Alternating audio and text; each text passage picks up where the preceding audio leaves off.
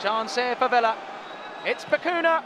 It's a wonderful goal from Leandro Bacuna. What a magnificent strike from the Dutchman. Joe completely helpless. And he goes over to hug his manager.